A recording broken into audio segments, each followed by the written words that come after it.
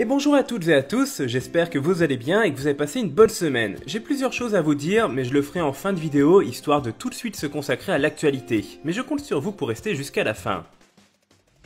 Évidemment, l'une des informations majeures de la semaine, c'était l'officialisation du prochain Call of. On nous avait donné rendez-vous ce mercredi pour en savoir plus, et sans surprise, puisque ça avait fuité il y a plusieurs mois, le prochain épisode se déroulera en pleine période de la guerre froide. Il s'appellera Call of Duty Black Ops Cold War et on aura donc un mode solo dont le scénario est assuré par David Goyer qui s'était occupé du récit des deux premiers Black Ops. Le contexte, vous le connaissez déjà, c'est la guerre froide et on sera envoyé au cours de plusieurs batailles emblématiques comme Berlin-Est, la Turquie ou encore le Vietnam. À côté de l'histoire, on va retrouver le traditionnel multijoueur où on nous évoque des opérations secrètes en tant qu'agent d'élite, de petites escarmouches ou encore des véhicules, mais on n'a pas encore eu d'image et on a aussi le mode zombie que tout le monde connaît.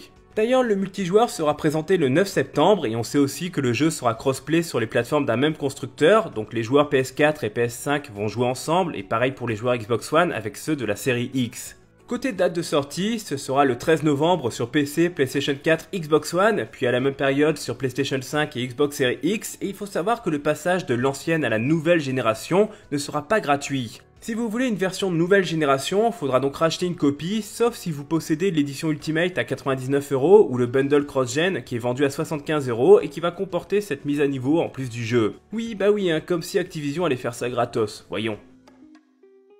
Une autre grosse actu de la semaine, c'était l'apparition d'un Nintendo Direct Mini qui était sous le signe du jeu de rythme. Encore une fois, Nintendo ne propose pas de gros Nintendo Direct, mais un format consacré aux jeux d'éditeurs tiers. Tout d'abord, Kingdom Hearts Melody of Memory, le jeu musical basé sur la franchise, qui a lâché quelques images et qui nous a donné rendez-vous le 13 novembre prochain pour sa sortie sur PlayStation 4, Xbox One et Nintendo Switch. On apprend aussi qu'un mode coopératif sera disponible pour partager tout ça à deux, ainsi qu'un mode en ligne compétitif pour affronter d'autres joueurs. Petite particularité de la version Switch, c'est qu'il y aura un mode où jusqu'à 8 joueurs pourront s'affronter en multijoueur local. Feather a aussi montré quelques images sans réelle nouveauté, World of Tanks a annoncé son arrivée avec sa version Blitz qui est déjà disponible en free-to-play, et Jump Force qui a pointé le bout de son nez sur Switch le 28 août. Côté annonce, on a Just Dance 2021 qui a profité du moment pour s'officialiser et qui arrivera le 12 novembre prochain. Big Rumble Boxing Creed Champions a aussi été annoncé, un jeu de boxe qui va sortir au printemps 2021 sur la console de Nintendo, avec des mini-jeux pour les entraînements, un mode multijoueur et un mode arcade avec plusieurs personnalités, avec évidemment Rocky Balboa dans le lot. Square Enix de son côté a annoncé la venue de Collection of Saga Final Fantasy Legend qui arrivera le 15 décembre sur Switch et qui regroupera les trois Final Fantasy Legend qui étaient initialement sortis sur Game Boy et qui reviennent dans une compilation avec une nouvelle musique, la possibilité de booster la vitesse des personnages et deux modes d'affichage. Au final, ce que l'on va surtout retenir, à part les 2-3 images du prochain DLC de Minecraft Dungeons, ce sont les annonces de Puyo Puyo Tetris 2 et d'un nouveau Taiko no Tatsujin.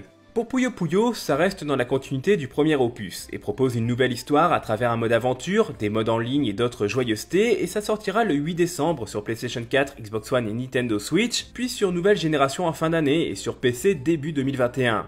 Et enfin, Taiko no Tatsujin Adventure Pack, une compilation regroupant les jeux rythmiques Adventure 1 et 2 qui n'étaient jamais sortis en Occident. Le tout sera traduit dans notre langue, ça sortira sur Nintendo Switch en fin d'année, et même si on garde le côté musical, il s'agit de RPG avec un scénario et des combats en rythme. Voilà, qu'est-ce que vous avez pensé de ce petit Nintendo Direct et quelle est l'annonce que vous retenez?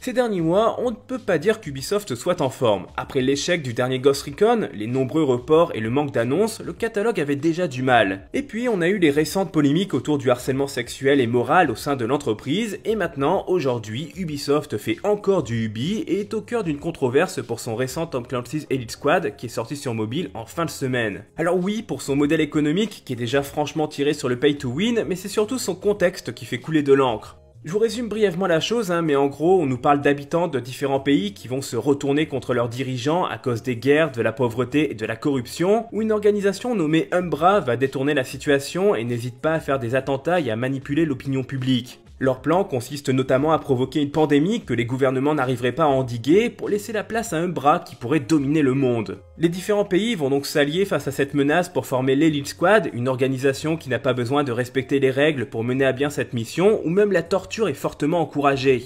Évidemment, vu cette année 2020 assez lourde, tout ça suscite déjà des réactions, mais ressemble aussi fortement à certaines théories du complot. Entre la pandémie déclenchée ou encore le mouvement Black Lives Matter, vu que l'image pour représenter un bras est un point noir levé. Sans compter l'ombre des antifas qui planent également autour de tout ça, ou encore la milice aux méthodes peu orthodoxes qui rappelle aussi la situation de Portland. On a vraiment l'impression d'avoir un mash-up de tous les conflits politiques et sociaux qui sont regroupés au même endroit.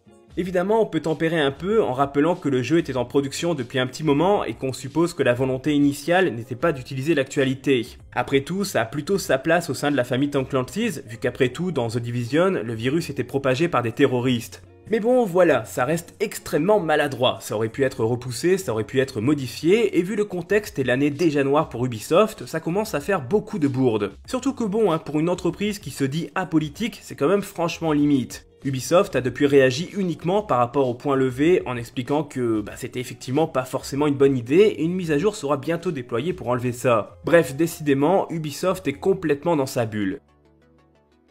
Dans le reste de l'actu, on peut évidemment noter la cérémonie d'ouverture de la Gamescom, mais ça je vous l'ai déjà résumé, donc si vous voulez en savoir plus sur la trentaine de jeux qui ont été présentés, je vous invite tout simplement à aller voir ma vidéo dédiée. D'ailleurs, la Gamescom a été l'occasion de dévoiler énormément de choses, mais malheureusement, je ne peux pas tout vous résumer. Et puis au final, même si l'actualité était dense, c'était principalement des trailers et de nouvelles images et rien de vraiment transcendant. On peut quand même noter la sortie surprise de The Last Campfire, le nouveau jeu des créateurs de No Man's Sky, le fait que Ratchet Clank sur PlayStation 5 aura droit à deux modes graphiques, l'un en 60 fps, l'autre en 4K 30 fps, ou encore que le jeu Seigneur des Anneaux centré sur Gollum a lâché une première vidéo tout en confirmant qu'il arrivera également sur PlayStation 4, Xbox One et Nintendo Switch l'année prochaine, en plus des versions PC, PlayStation 5 et Series X qui étaient déjà annoncées. Quelques dates aussi avec Jurassic World Evolution annoncé et daté au 3 novembre prochain sur Switch, Is9 qui sortira le 5 février 2021 en France sur PlayStation 4, puis en été sur PC et Nintendo Switch, ou encore Yakuza Like a Dragon qui sortira le 13 novembre 2020 sur PC, PS4 et Xbox One. D'ailleurs, je vous ai fait une petite vidéo dessus en début de semaine, donc si vous voulez en savoir plus sur ce nouvel épisode, je vous invite à aller voir ça.